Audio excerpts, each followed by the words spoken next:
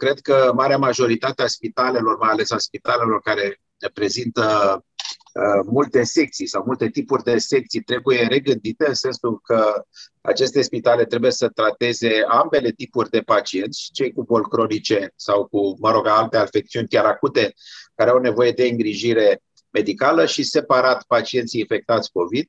Uh, acest tip de asistență medicală este răspândit în toată Uniunea Europeană și noi cred că am rămas ultima sau printre ultimele țări care are doar spitale dedicate. Da, dar avem noi limitează spitale. Accesul, limitează, limitează accesul la, la servicii de sănătate și pentru pacienții COVID și pentru cei non-COVID. E adevărat, dar avem noi spitale apte așa cum sunt ele, îmbătrânite, pline de infecții nozocomiale. Cum știm sistemul sanitar?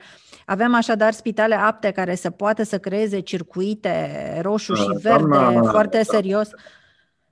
Uh, doamna Dogioiu, uh, sigur că nu avem spitale perfecte. Asta nu înseamnă să nu încercăm să ne organizăm, adică această scuză, pentru că este o scuză până la urmă, nu avem spitale la nivelul standardelor europene și atunci nu facem nimic.